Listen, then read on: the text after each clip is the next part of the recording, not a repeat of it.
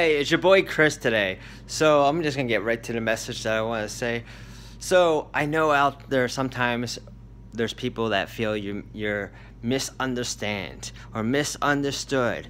Well, I'm here to tell you we all go through that. There's days where I feel I'm misunderstood. I'm human. We're all human. We're all normal. You know what I mean? It's normal. Like not everybody's gonna understand us. But what I'm saying is it happens. We all at times feel misunderstood. But there's nothing wrong with that. That's just part of our life that we go through.